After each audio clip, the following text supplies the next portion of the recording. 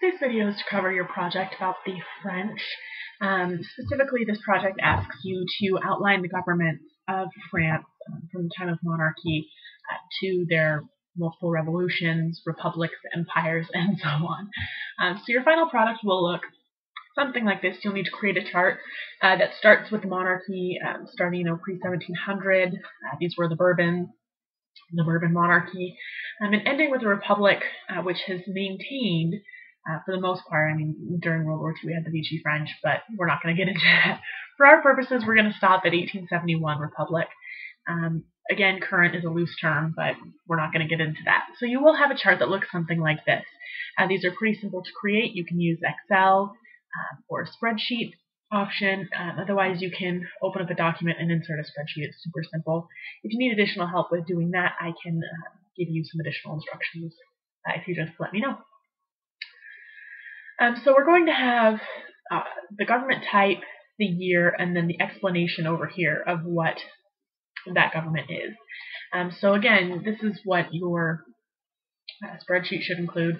Type of government, the years it was active, and you'll need to explain who ran the government, how citizens participated, and uh, why that form of government ended, what happened to it. Um, so a pretty loose example of this uh, is that in my first box that I would make uh, the monarchy lasted until 1789.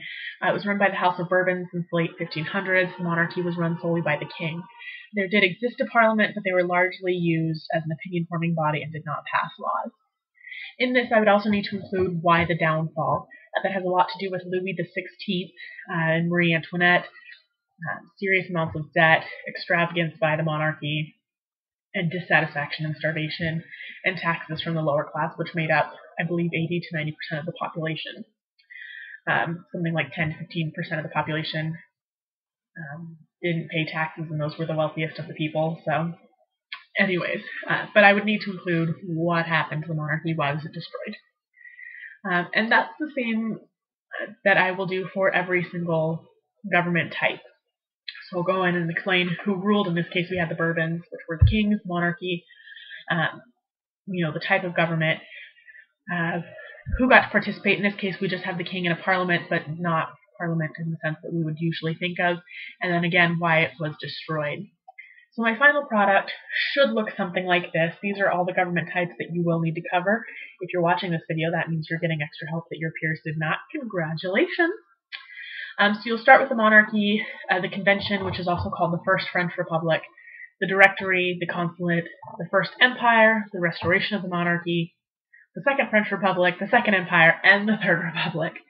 Um, when you are writing about the restoration of the monarchy, there there is some dispute about the restoration of the monarchy because the Bourbons were restored to the throne and uh, France went back to a monarchy. Uh, but later, the Bourbons were overthrown and supplanted with uh, the family or the House of Orleans. Um, and it looks like Orleans, so don't be confused.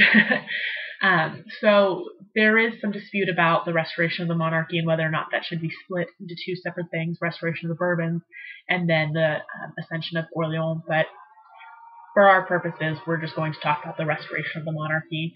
Um, we're less interested in the overthrow of Bourbon for Orleans um, but we do need to talk about the restoration of the monarchy and then why the monarchy was once again tossed down the toilet. Um, so again, this is what you're looking at, uh, these major government types. And it's important to keep in mind that from 1780 until I believe the last one was 1880, 1871, I believe.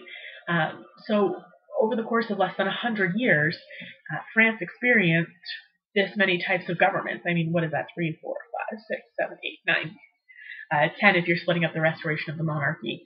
Uh, so that means almost every decade there was a change of government and revolution.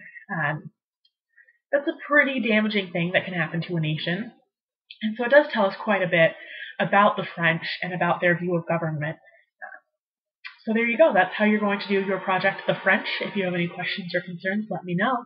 Otherwise, I'll be seeing you in class.